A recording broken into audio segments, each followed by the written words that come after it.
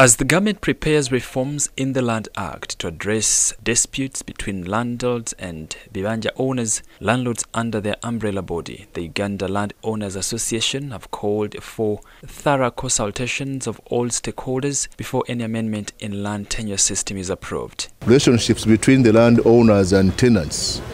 Government has done a lot of proposals, but without us going down to get this bottom up approach, we shall never have a solution. So we are trying to work with the government to see that uh, they listen to the people's wish. Otherwise, laws that come top to bottom will never work. Many proposals have been made, but still, the solution has not been identified. The former Katikkiro of Buganda, Engineer John Baptist Walusimbi, has asked government to survey all the land across the country and record it in transparent digital systems. He believes this will make it difficult for grabbers to access people's titles. We must adopt an international formula of how to deal with the land.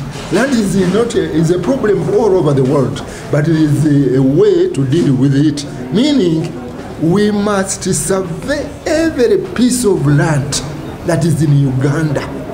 And that land is documented, is computerized, and the owner is known. The Uganda Land Owners Association has challenged government to create SMS alert systems in land management systems to be able to alert landowners whenever illegal transactions are being handled. Introduce a system that in case of any transaction on land, there is an alert system, SMS, I mean SMS.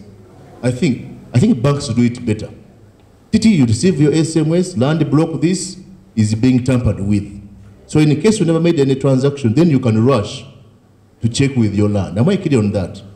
I think this much will assist us to get out of this fraud. Speaking at the General Assembly in Kampala today, landlords also called for reforms in land management to allow them sue land administrators who facilitate fraud. They expressed concern that some land administrators wreaking havoc in land offices with impunity because they are not directly liable to their actions. We have a lot of work to do.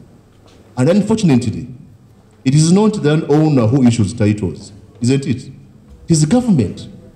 And now when you go to court, they say you take the Attorney General to court, not this culprit. We have to find ways of punishing the exact registrar who actually perpetrates this kind of fraud. And through us with the government negotiation, we have to, I think, take this agenda to the highest level. Am I clear on that? Landowners want the new land reforms to do away with recognizing bona fide occupants who settle on land illegally. Story by Fred Kajubi for the news.